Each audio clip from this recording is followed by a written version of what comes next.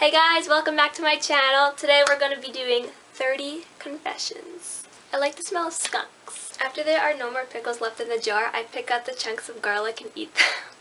I'm allergic to the cold. I can only wink with my right eye. I like power outages.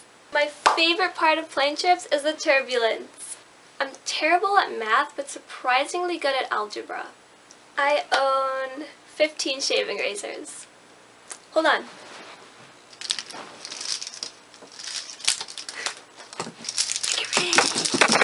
I get hungry every 10 minutes. I don't know how to kiss. I just sort of peck. I dated a fridge. I have three imaginary friends. I talk to myself when I'm alone. I mean, I'm talking to myself right now. To be honest, my inner voice is an English accent. I've never actually approved of any of my best friends' relationships. I burn almost everything I make, so I sort of just stick to making salads. I cringe when I hear the sound of knuckles cracking.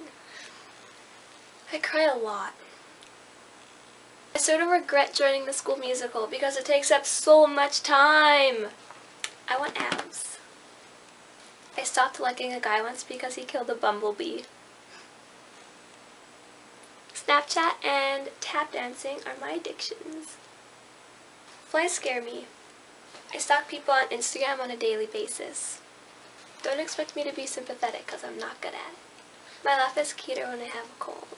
Ha ha ha ha ha ha ha! American spelling annoys me. I don't know how to put in a tampon. I can't read some people's handwriting, so when they give me a card, I'll just pretend to read it and then look up and say, aw, thank you. Last confession. Everyone who knows me is going to hate me for this. Casper isn't real. I'm sorry, okay? I hope you liked this video. Give it a big thumbs up if you liked it and subscribe down below if you think I'm worth it. Thanks guys, bye!